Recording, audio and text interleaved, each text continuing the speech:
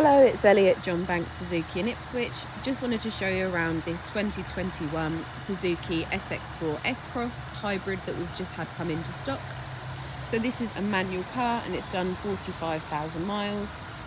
It is a hybrid, giving you better fuel efficiency and lower CO2 emissions.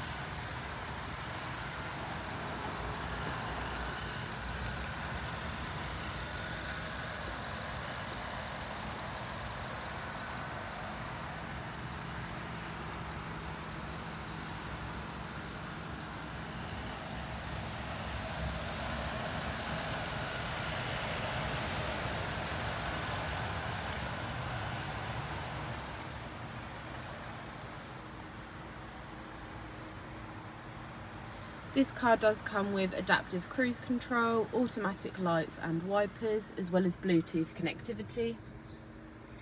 You've also got dual zone air conditioning and climate control, and an automatic dimming rear view mirror. You've also got electric windows on all four doors and plenty of room in the back for back passengers, including ISOFIX on both rear seats.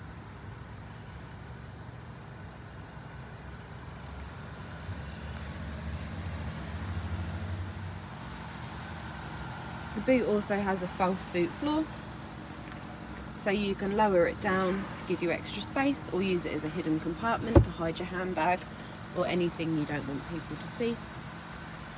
If you've got any questions about this car or you'd like to know more, please do get in contact with us by emailing, giving us a call or just pop into the dealership.